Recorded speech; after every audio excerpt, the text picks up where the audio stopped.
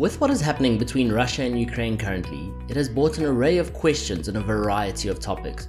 One of those being geopolitics, or more specifically, geopolitical risks, and how it can affect investments from stocks through to cryptocurrencies. So today we'll be looking at what geopolitical risks are and how they impact fintech and the financial environment. Firstly, let's look at what geopolitics are. Simply, it is the study of the effect of geography being human and physical on international politics and international relations. Geopolitical risk is different to political risk, although a lot of the time many people mistakenly use both terms interchangeably. Political risk defines the risks and dynamics within the borders of a nation, whereas geopolitical risks describe the dynamics between nations. It is worthy to note that political tensions that are initially confined within nations' borders and not aimed at affecting the normal course of international relations could potentially escalate and create geopolitical instability. Geopolitics is a term that encompasses multiple definitions and historically has been used to describe the practice of states to control and compete for territory. However, in recent decades, power struggles and other events involving a diverse set of agents including corporations, non-governmental organizations, rebel groups and political parties have also been classified as a part of geopolitics. For this reason, the current usage of the word geopolitics covers a diverse set of events with a wide range of causes and consequences, from war to climate change and through to global financial crises. Thus, geopolitical risk can be defined more clearly as the risk associated with wars, terrorist acts, and tensions between states that affect the normal and peaceful course of international relations. Geopolitical risk captures both the risk that these events materialize and the new risks associated with an escalation of existing events. Geopolitics is a phenomenon that is increasingly impacting the global fintech and financial services ecosystem. This is giving rise to a series of interconnected risks that are both new and difficult to mitigate, especially with the existing risk management frameworks.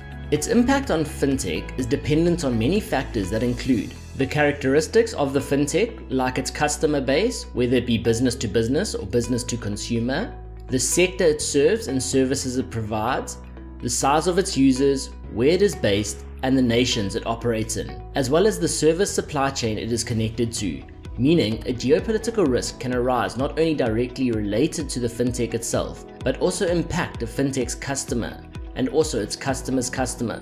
Unpredictable market events are a major operational risk, precisely because they are unpredictable in nature. The overreaction that follows a sudden market event can lead to serious liquidity and solvency problems for fintechs, as well as financial institutions. Procyclicality, contagion, excess volatility, and many other risk factors can also emerge in the market, causing disruptions of fintech services.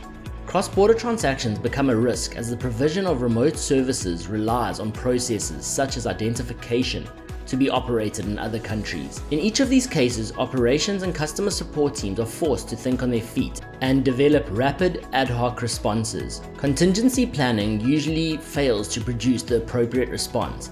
As usual in fintech, fast and appropriate customer communication must be at the forefront. Heightened geopolitical risk may increase financial market volatility and induce delays in investment decisions, and as a result may have a negative impact on macroeconomic outcomes. For example, volatility in the US government bond market, the bedrock of the global financial system, is running at its highest level since the market ructions early in the coronavirus crisis two years ago.